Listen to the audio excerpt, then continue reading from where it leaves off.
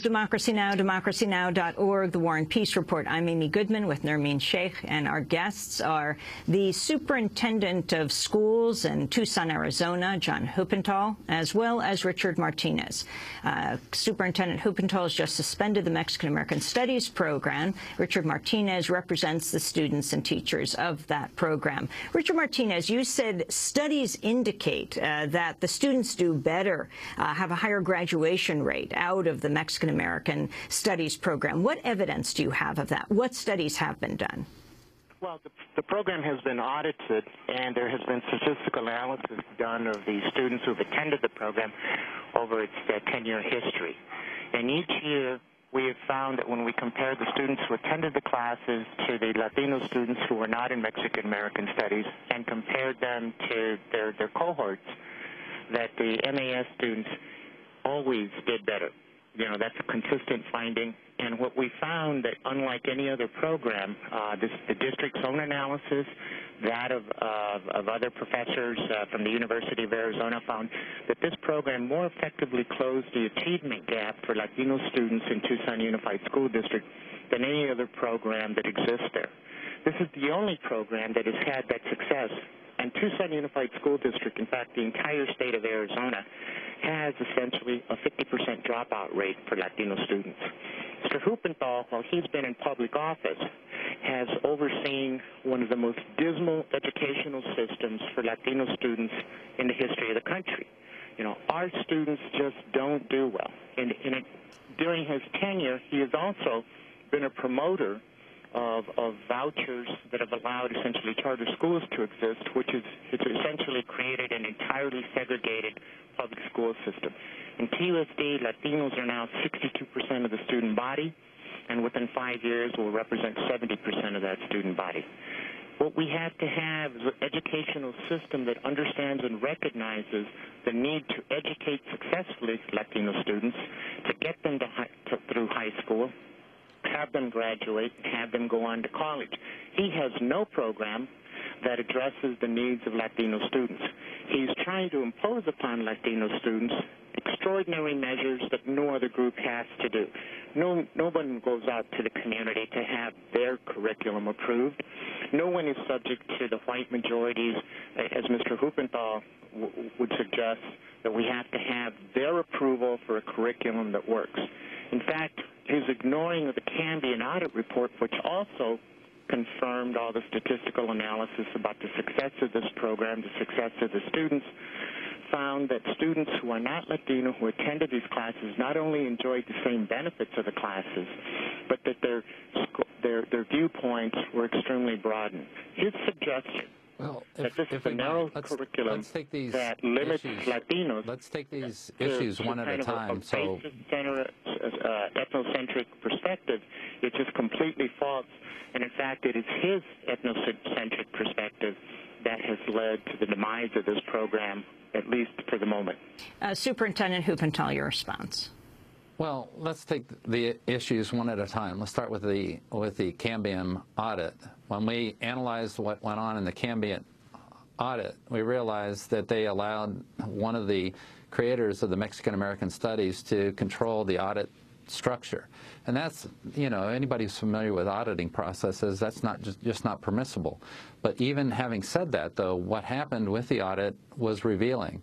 So the, the founder of the Mexican Americans, the designer of the Mexican American Studies uh, classes was able to control when the auditors went into the class and which classes they went into. And when we compared what happened when the auditors were present looking, uh, watching, observing, and we compare that with thousands of pages of lesson plans, you could see that the teachers themselves knew what was inappropriate. The inappropriate behavior disappeared when they were being observed. So when you compare the lesson plans of actually delivered Mexican American studies that was replete with inappropriate um, um, teacher behavior and compared with what was what happened when it, when they were being audited, there was a difference but that's what you would expect. People don't do inappropriate things while they're being watched. So this was all carefully detailed. We had to, when we went to the judge, this was all laid out, and the judge was able to fully take into account the audit circumstances. The other issue has to do with the effectiveness of Mexican American studies academically. And the the claims of success, academic success for Mexican American studies were done by comparing an apple to an orange. When you very carefully compare graduation rates of seniors to seniors and cohort to cohort, the so-called uh, academic advantages and benefits of Mexican American studies disappeared. We could find no statistical difference between them and their peers. The, um, but regardless of, of those issues, the suggestion that a school board shouldn't be in control of its classes, that a principal shouldn't be in control of their school, these things we find to be intolerable. The, this education system has to be accountable to the community. It has to, community has to be able to come out, come forward and say, what are you teaching our students in these classes? And we have to be proud of what we're teaching. That doesn't mean that we, we rinse the controversy out of it, we can take on very controversial subjects, and we should have all vantage points, in particular the ones that uh, the good lawyer is talking about. So this is not talking about ethnocentricity. This is talking about healthy educational processes that allow students to think critically from many viewpoints, not be indoctrinated into a Pallaferian, Marxian kind of style of thinking about racial attitudes and and and creating hatred and and uh, creating an attitude of of really that's unhealthy in our educational system, and one that if it was subject to community review wouldn't be allowed. Richard Martinez. By regardless of where you are in the political spectrum. Richard Martinez. First of all, through this process, the, the, Mr. Huppenthal has never produced any statistical analysis which shows other than the success of the program. His own auditors confirmed those numbers. Number two, his suggestion that we controlled or somehow in Tucson what the auditors saw was controlled or fixed is just a false uh, accusation. More important, Mr. Huppenthal ignores that he cannot, nor has he ever defined what it is that a teacher says or does that promotes resentment, is a curriculum designed primarily for students of a particular ethnic group, or that that advocates ethnic solidarity. Those are terms that he can't define. In the absence of being able to define them for the average person to know, for the average educator to know, classroom teacher to be able to understand what are the bright lines between what I can and cannot do, they have they have a law that fundamentally is flawed. It's a it's an unconstitutional statute. It's void for vagueness, and and it's something that is currently subject to uh, the scrutiny uh, of a federal judge. You know, that process will play itself out. But in the meantime, what Mr. Huppenthal has done is placed over 800 students who are in these classes and and and, in, and, and enjoying the benefits of these classes from having any class at all. He has interfered with a number of high school students' education in a ma- in a manner that is just incomprehensible. He has come into Tucson from Phoenix as a state elected official and done violence upon our community by imposing his personal will, by blackmailing this community with saying that I will take away $14 million of your funding if you don't cease these programs immediately, because he was able to pass a law that gave him that authority. And, and that's what's being challenged. And what, what has occurred here is that he's taken away from our entire community a curriculum that was adopted by our school board, that was developed by our school district, and that has successfully operated for well over 10 years. You know, he's imposing his viewpoint as the one that must be accepted in Tucson, Arizona, and he calls us dysfunctional. What we have here is an abuse of power and an abuse of a viewpoint from a single person who represents a you know right wing Republican agenda in Arizona, and, uh, and and it's just part of the same kind of tactics that have been employed in Arizona by reflected by 1070, you know, the anti-immigrant perspective. It is, you know, the anti-Latino perspective that exists in the state, and they're taken away the most successful program that has existed in, in, in the state of Arizona. Uh, let me there's- ask there's a number of Superintendent Huppenthal Yeah. uh, about the Well- issue of the higher graduation rates of students coming out of uh, the Mexican American Studies program.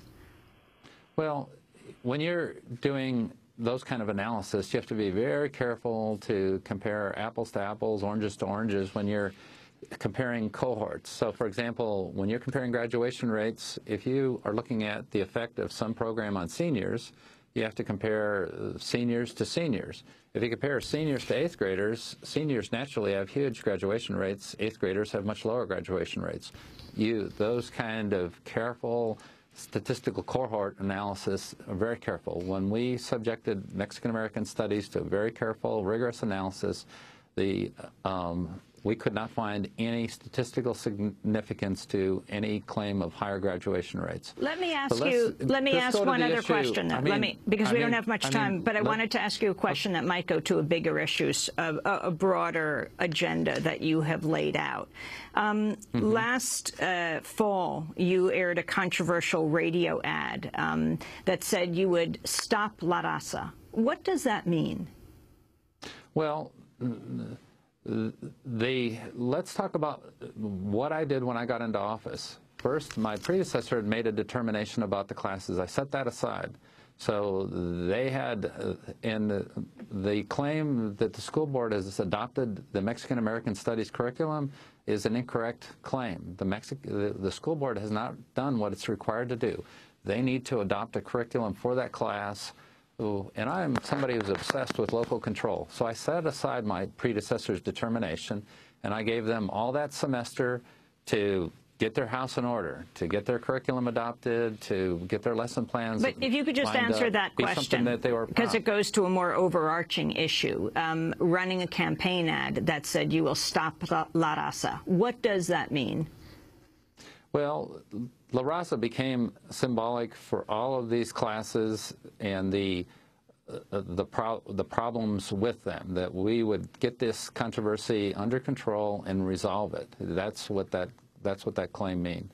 La Raza was a was shorthand for all of the controversy associated with these classes. And Richard Martinez, what does La Raza mean to you?